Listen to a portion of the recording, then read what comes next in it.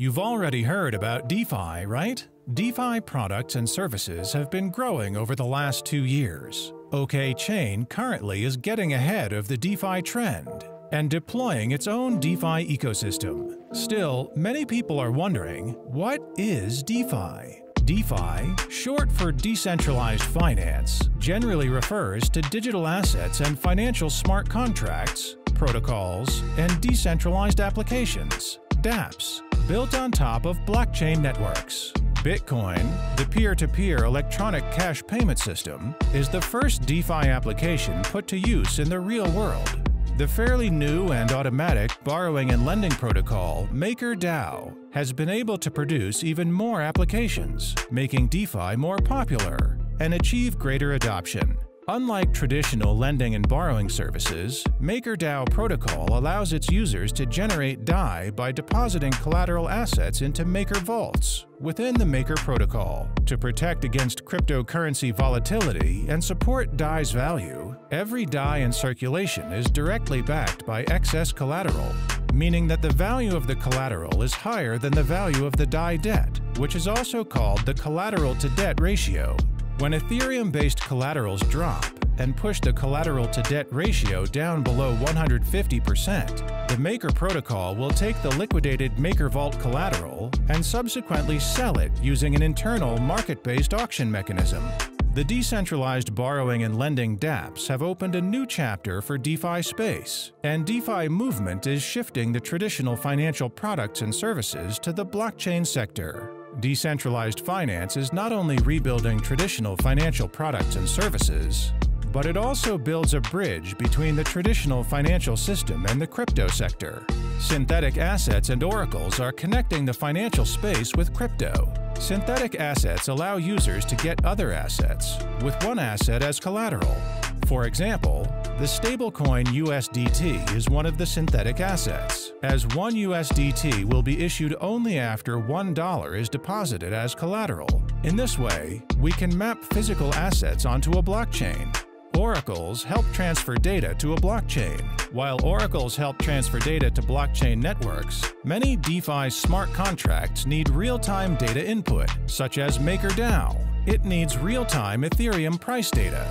In a word, Oracles enable DeFi to deliver financial services to its users in real time.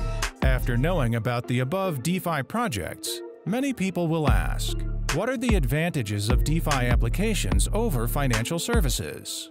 Instead of counting on centralized financial systems where you don't know how their internal processes work, Blockchain technologies remove these trusted third parties and shifting these services to unbiased, transparent, and highly efficient permissionless systems. As a result, you can check the transactions by just checking the DeFi transaction ID on the blockchain and see that it's transparent and open source, available to anyone, anywhere in the world.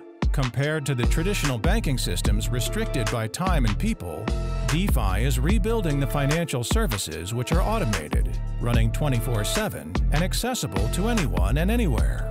DeFi offers people a promise of enjoying the friction-free financial services between two parties without the hassle from central authorities or middlemen. Everyone is accessible to the benefits of DeFi applications. DeFi composability adds another dimension, like Lego bricks, developers can recompose these protocols to develop new products. All this has made it much easier to develop new DeFi applications, whose financial services are easily accessible to every person. So, with so many advantages that financial systems are lacking in, is DeFi a perfect option?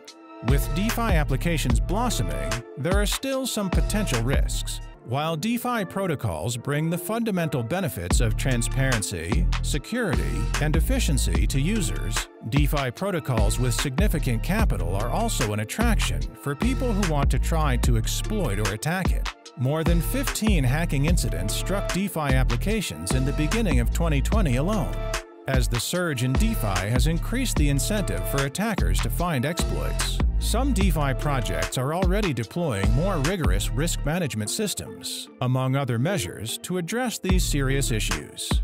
DeFi ecosystems are also improving on all kinds of levels to counter these challenges. While the emergence of Bitcoin enabled a decentralized payment system after the 2008 financial crisis, DeFi is now rebuilding the entire financial system. Though DeFi is still in a nascent stage, it is constantly bringing the fundamental benefits of transparency, security, and efficiency to users, and is addressing issues existing in the traditional financial market. With DeFi ecosystem fastly expanding, we expect more innovations will come about in upcoming years.